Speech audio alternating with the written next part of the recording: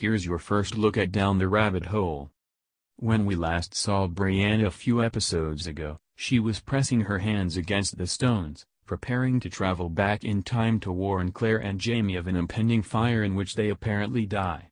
But a sneak peek of this Sunday's episode, titled Down the Rabbit Hole, reveals that things aren't going so well for her in the 18th century.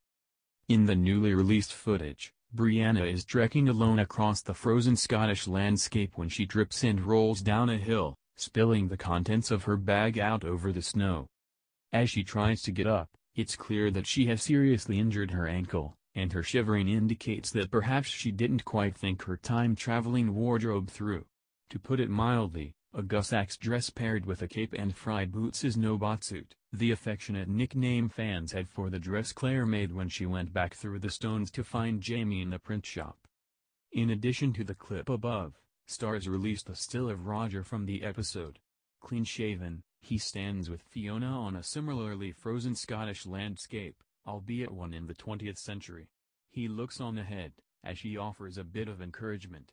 Will he go back in time after Brianna? Tune in this weekend to find out.